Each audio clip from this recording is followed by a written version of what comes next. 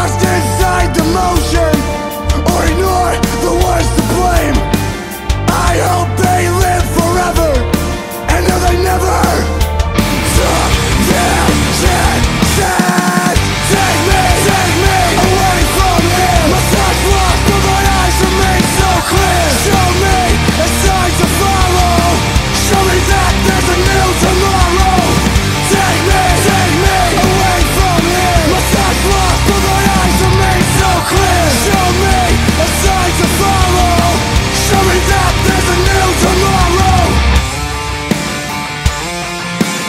Take me